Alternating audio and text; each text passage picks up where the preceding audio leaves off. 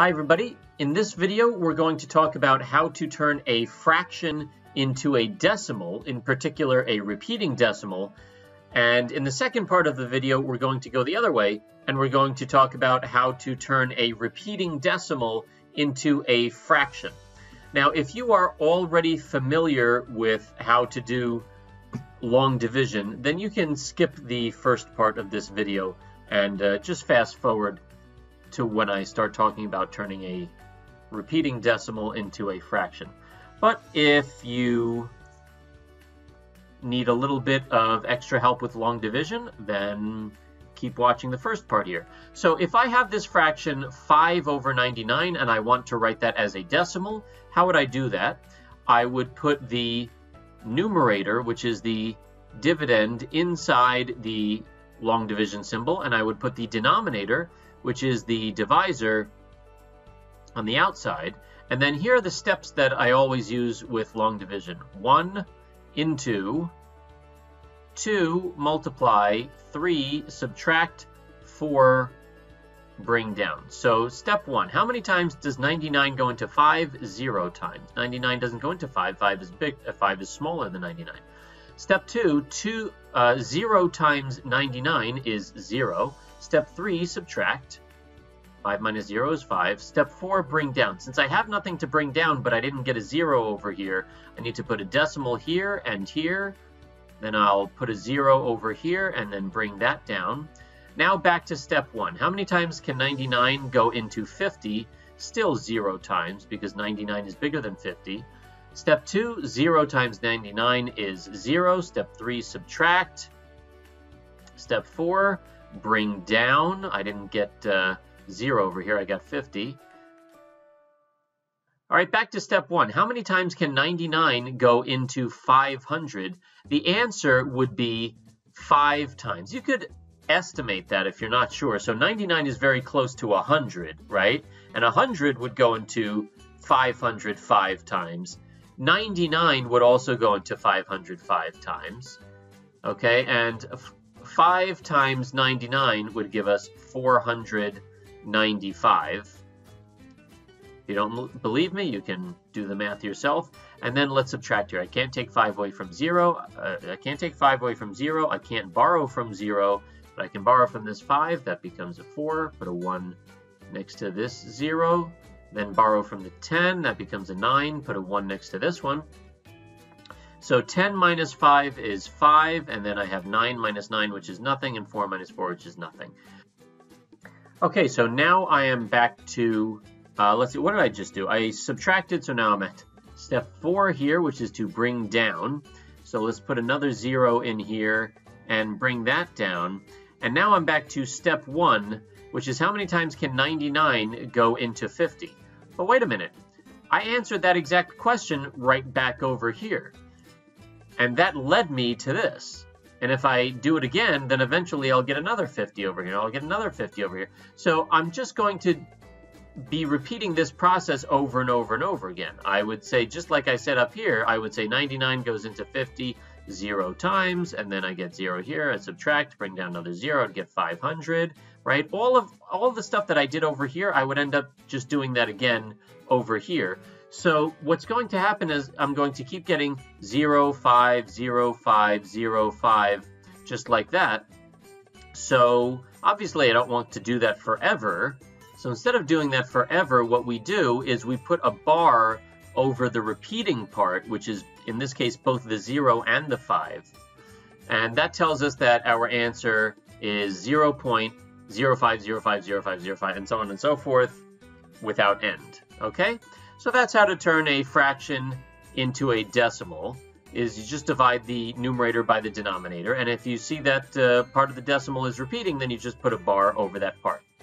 So now what we're going to do is we're going to move on to something new. Hopefully that was a review for you. I'm sure you've done long division before. But now we're going to move on to something new, which is if I already know that I have a repeating decimal. What if I wanted to go the other way and turn it into a fraction? Well, here's how we would do that.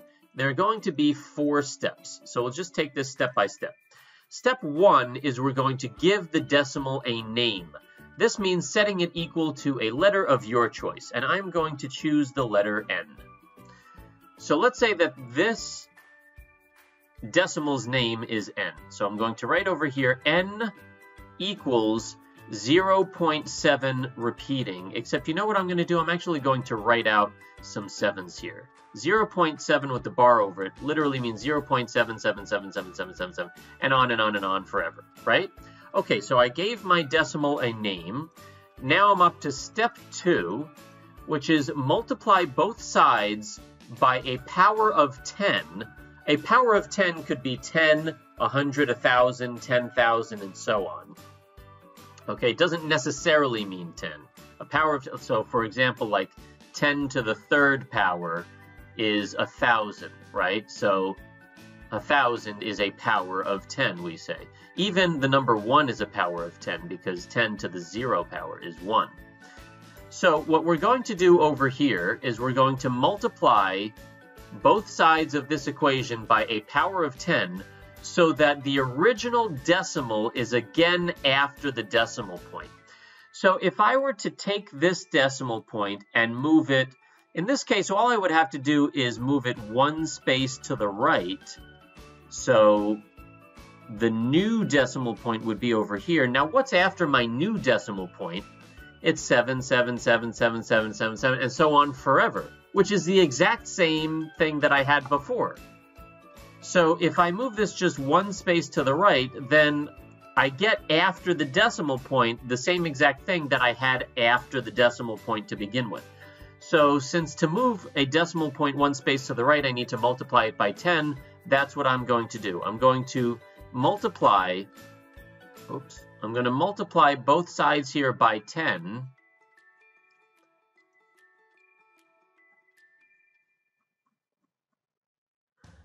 And the result of that is 10 times n is just 10n.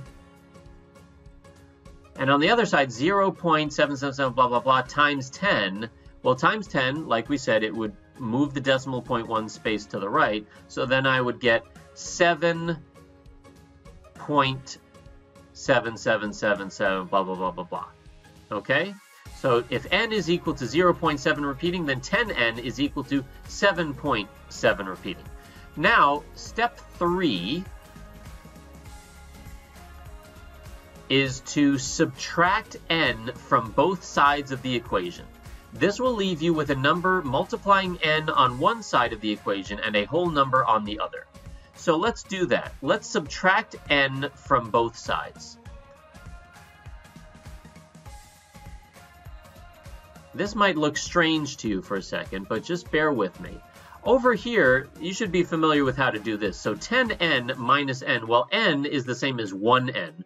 So 10n minus 1n is just 9n. So that wasn't too tough over here.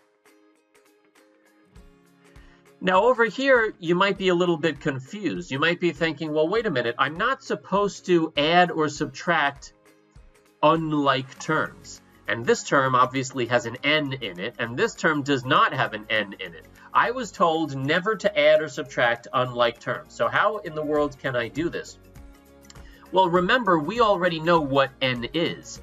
n is really just 0.777 repeating, right? So if I take 7.777 repeating, if I take 7.7 repeating, and I subtract the repeating part, then I'm just going to have seven left over. Um, yeah. Okay, so I hope that made sense, right? Over here I had seven point blah, blah, blah, blah, blah. And what I'm doing is I'm subtracting away the blah, blah, blah, blah, blah part because n is just equal to that blah, blah, blah, blah, blah part. So what I'm left with is just the number that was in front of the decimal, which is just 7. Okay? And now for step four, my last step, my last step, or you know what, if that doesn't look too good, you could just replace this n with what its value is. So n is really just 0.7 repeating, right? Right, n is just equal to that. Okay, so I put it there. Hopefully maybe that looks a little bit easier to understand why this minus n is, is just equal to 7 because all this stuff just goes away and this is the only thing that's left. Okay? All right, so anyway, the last step, step 4, is to divide both sides by the coefficient in front of n in order to get n by itself. So it's just what you would normally do. If you had some equation 9n equals 7 and you were solving for n, then what would you do? You would divide both sides by this coefficient over here, so you divide both sides by 9, and that cancels. And so your final result is that n is equal to 7 over 9, or just, well, 7 divided by 9 is just 7 ninths. Okay, so there is our answer, and if you don't believe me, you could just do, so we're saying that n is 7 ninths, but back here we said that n was 0.7 repeating. So this and this must be the same thing. And in fact, they are. 7 divided by 9 does give us 0.7 repeating. The calculator is showing an 8 over here just because it can't go on forever. So if it were to go on, then it would have, it would be 7, 7, 7, 7, 7, just like that. But it obviously ran out of space, so it says to its, or it's programmed to round. So the next digit is also a 7, and if it rounds, then it's going to bump this 7 up to an 8. So really it is 0.7 repeating. It's just rounding there. Okay? So that's it. And what we're going to do now for the rest of the videos, we're just going to do another couple of examples. All right, so let's do this, these last two examples quickly. Go back to step one, give the decimal a name. So I want to convert this into a fraction, so I'll say I'll give it a name n again. n is equal to 0.616161 and so on and so forth, right?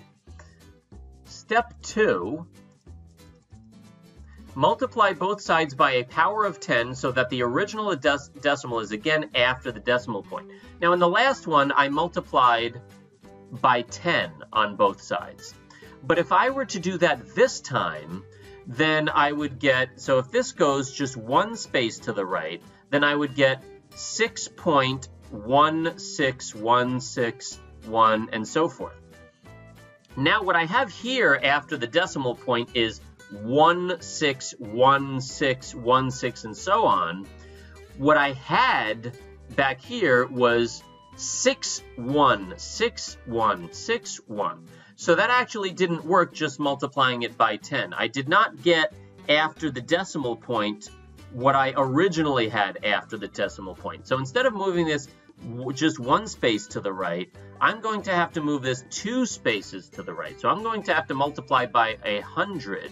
Now, if I do that, then I would get the uh, original, then I would get after the decimal point the original numbers that I had. So here I have 100 times n is just 100n.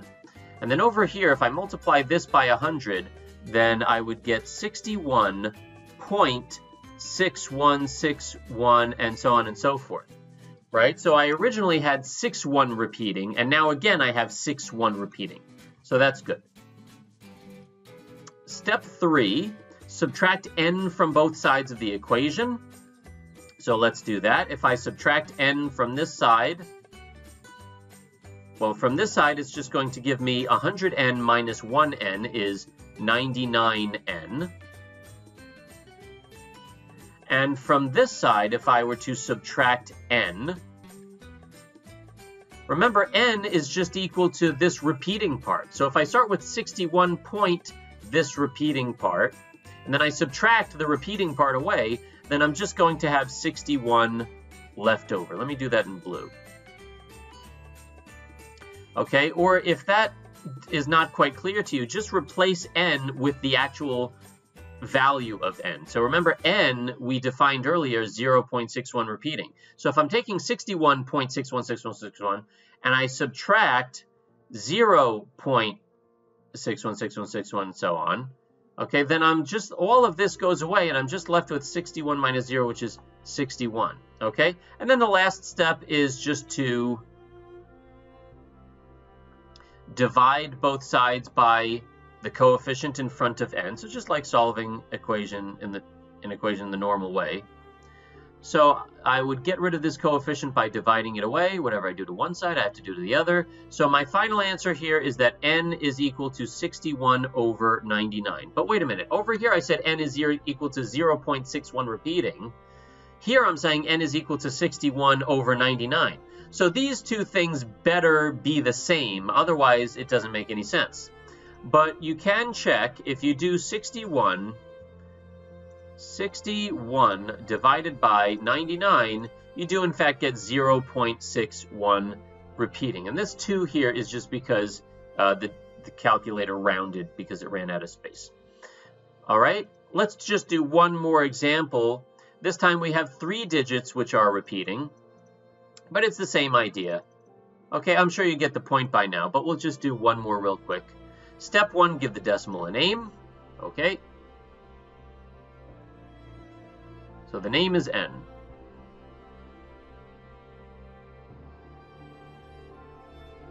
Okay, step two, we're going to multiply by a power of 10 so that what we have after the decimal is the same as what we had before. So if I only move this one space, then after the decimal, I'm going to have 483, 483. That's not what I had before. Before I had 348, 348, right? What if I move it two spaces? Then after, then the new decimal would be here, and I would have after the decimal 834, 834. That's not what I had earlier. No good. If I move it three spaces, so the new decimal would be here, then after the decimal, I would have 348, 348, which is exactly what I had before after the decimal, 348, 348, and so on. So that's what I want to do. I move. I want to move the decimal three spaces to the right, and in order to do that, I'm going to have to multiply by a thousand. So let's multiply both sides by a thousand here. I'm just going to stick with blue. It's getting annoying switching colors every five seconds. So that's going to give me a thousand n on the left equals, if I multiply this by a thousand, I'll get 348.348348 and so on and so forth. The 348 part is repeating. I'll subtract n from both sides. 1000n minus 1n is 999n. And then remember, n is just the repeating part. So if I take this and subtract away the repeating part, then I get 348 left over. And then we'll just divide both sides by 999 to finish this up. So we get n equals 348 over 999. Okay, and you can see that 348 divided by 999 is in fact equal to 0.348348 and so on and so forth. Okay? By the way, I hope people are still watching. If you are still, well, you should be watching and if you are, so of course, what am I even saying? Of course you're watching. Just want to point out here that what if we wanted to convert 0.348 into a fraction? Not 0.348 repeating, just 0.348. What would that be? Well, that would be 348 over a 1,000, right? Because really, this is just 348 thousandths. So that would be this decimal as a fraction. 0.348348348 and so forth is actually very close to 0.348. These are not exactly the same, but they're they're very close to each other. So it does seem reasonable that our uh, results as a fraction are also very close to each other. Instead of 348 over 1,000, over here we got 348 over 999. Okay, so I just wanted to point that out. So anyway, that's it, and have a great day.